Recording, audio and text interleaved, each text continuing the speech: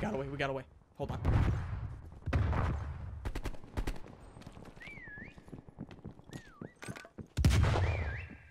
Shit, that's a problem. This is a big issue. This is a huge issue. A major one. Nice, Royce. Nice, Royce. Nice, Royce. Nice, Royce. Nice, Royce.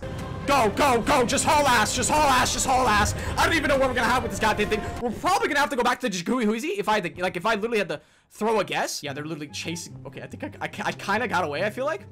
But I want to get back to the Jacuzzi Hoozy. Okay, we're gonna have a whistle in three seconds. So we're gonna whistle kind of back here.